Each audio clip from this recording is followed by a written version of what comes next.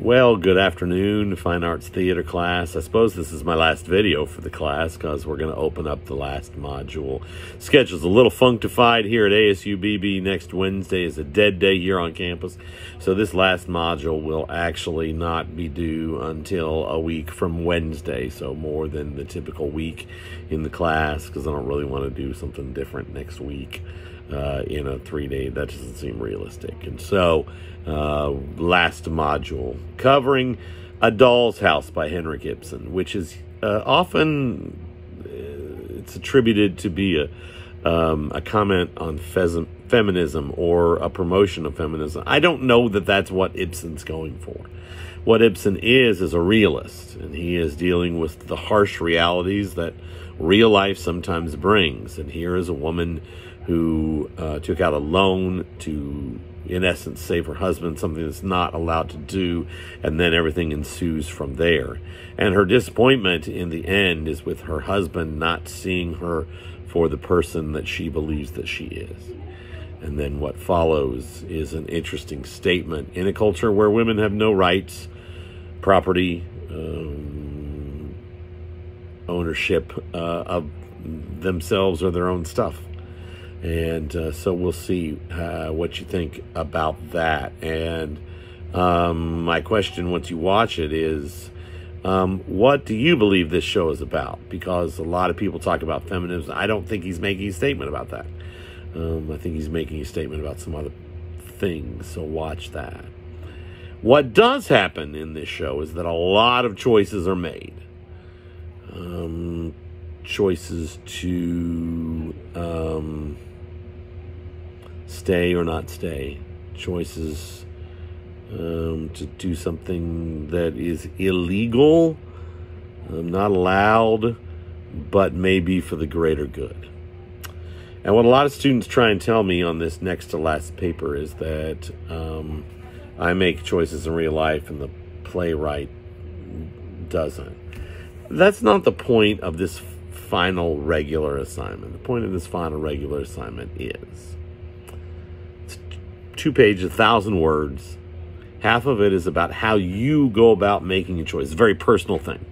How you make choices may not be how, eh, probably not how I make choices. What's the process with which you go through? And secondly, how is that different than how the playwright uses the role of choice? So, for instance, the playwright is telling a story.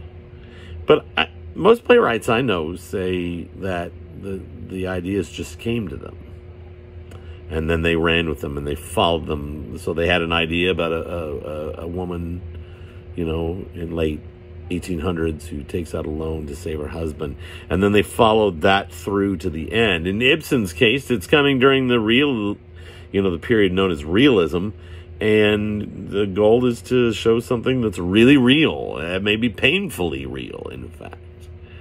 Um, in a recent. Uh, in recent days. Um, Hamilton is about the founding fathers, about Alexander Hamilton, a character that we don't talk about very much. Um, but Lin Manuel Miranda uses people of color to to depict all those characters that that would have been white and are thought of as white and he does so for reasons why why do the playwrights do what they do how do they use choice how would the Doll's House be different if Nora makes a different choice at the end? Uh, I think these are important questions.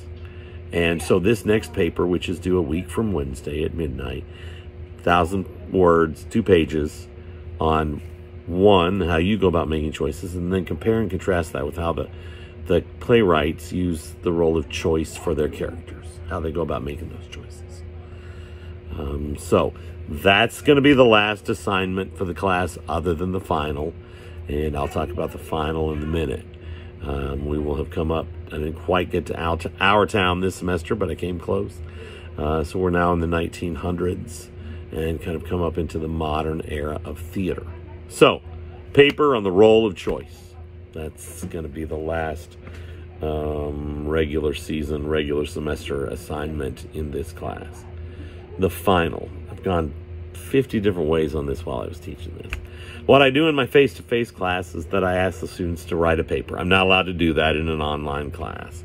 Um, but it is decidedly um, my preferred way of doing examinations. I don't like A, B, C, D, E. I don't like uh, true, false. I don't, I don't prefer them. Some people are naturally more gifted at test taking than others. It just is. Test anxiety is a thing. I don't like them. So there will be an exam, but let me tell you, basically, there will be five questions on that exam. You can't really study for it. If you've done the work in this class, you will do fine. There will be five questions. Uh, they will be writing questions. And that will open up next Thursday and be open to the following Tuesday. You'll have whatever, about six days uh, with that final exam. Um, the reason that it's not really studyable forable is that uh, I'm trying to measure what you've gotten out of the class.